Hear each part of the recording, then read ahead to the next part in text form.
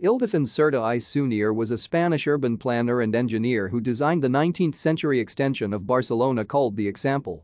Because of his extensive theoretical and practical work, he is considered the founder of modern town planning as a discipline, having coined the new word urbanization.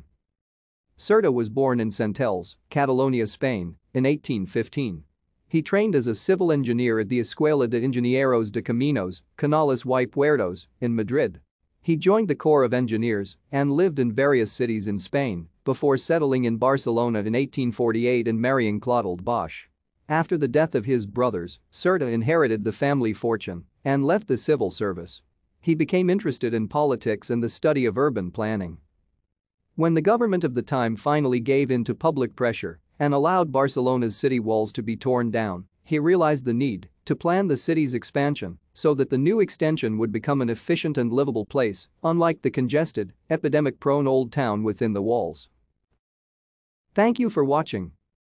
Like and subscribe if you would like to view more of our videos. Have a nice day.